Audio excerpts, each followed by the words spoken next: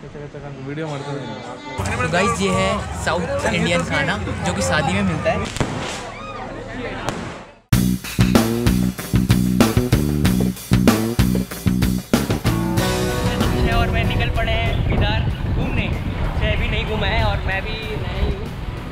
देखते हैं, इधर में दो तीन जगह कुछ इंपॉर्टेंट है, जैसे कि पिदर फोर्ट और गुरुद्वारा।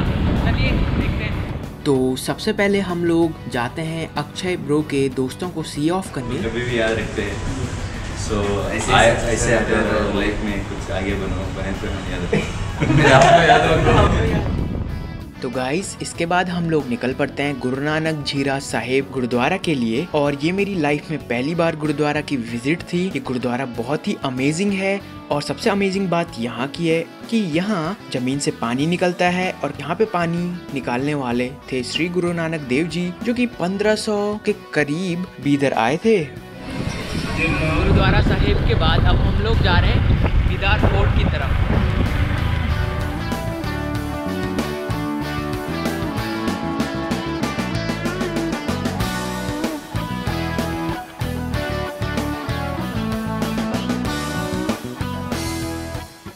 बीदर फोर्ट सुबह के 9 बजे से लेकर शाम के 5 बजे तक खुला रहता है। तो गाइस इस समय हम लोग हैं बीदर फोर्ट में और अनफॉर्चुनेटली यहाँ पे कोई गोप्रो या कैमरा अलाउड नहीं है सिर्फ़ फ़ोन अलाउड है। तो अब हम फ़ोन से करने वाले हैं व्लॉगिंग बीदर फोर्ट 1400 सदी का बेहद पुराना किला है। तो अगर आप हिस्ट्री में या इंटरेस्ट रखते हैं तो आप यहाँ जा सकते हैं। ये हैं पुराने ज़माने के हथियार बीदार फोर्ट के।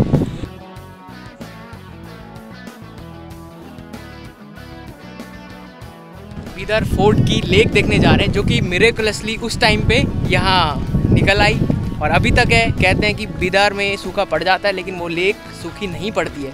उसी पहुँच गए Bhoom Gandeshwar lake sorry pronunciation के लिए माफ़ी चाहता हूँ। बहुत ही पुराने ज़माने की ये लेक है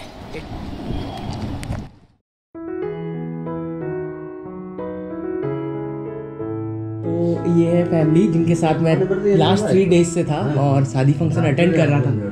आंटी आप लोग साथ बिल्कुल ऐसा नहीं लगा मुझे कि मैं घर से बाहर हूँ। आप सबने बहुत केयर की अंकल थैंक यू अंकल आपके साथ डांस करके मज़ा आया।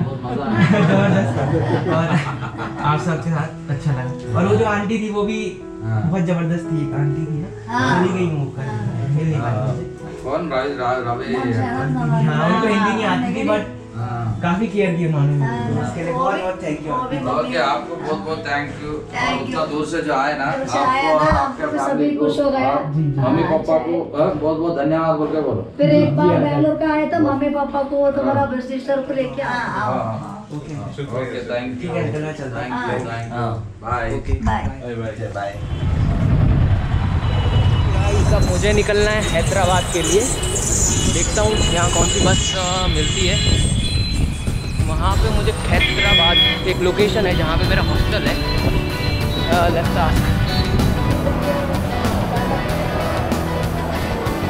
Excuse me, brother, हैदराबाद बैग चढ़ते ही? Okay okay okay thank you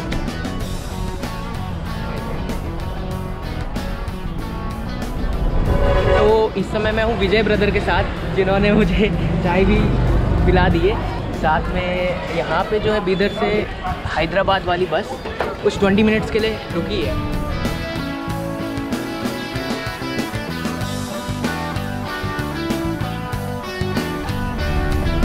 आप लोगों की यहाँ ऐसी ड्रेस होती है।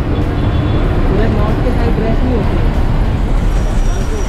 श्रीनगर गढ़वाल, उत्तराखंड। तो अभी मैं हॉस्टल पहुँचने वाला हूँ और लगभग टेन मिनट्स का वॉकिंग डिस्टेंस है, जैसा मुझे फ़ोन पे बताया गया है। लकड़ी का पुल ओके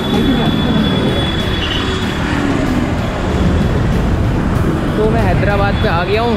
अब जरा गूगल मैप्स की मदद से मुझे पहुँचना है हॉस्टल। तो बस जो स्टॉप था वो बीच रोड में था। और उसके बाद अब मैं हॉस्टल तक जा रहा हूँ, जो कि अब एक किलोमीटर दूरी पे था। एंड अब एक मिनट का डिस्टेंस बाकी है। यहाँ का मौसम ठंडा है। लाइक ह्यूमिडिटी भी नहीं है। ओके सो हॉस्टल यहीं कहीं होना चाहिए। सामने हॉस्टल है।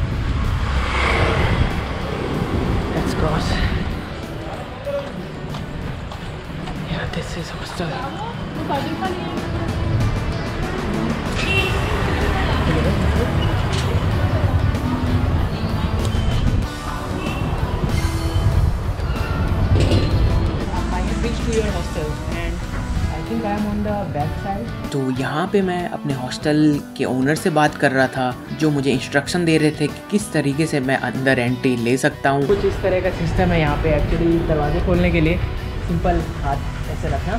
कीपैड आएगा, उसके बाद पासवर्ड डालना है। After this it must work but it don't work for me अब पता नहीं कैसे होगा। देखते हैं।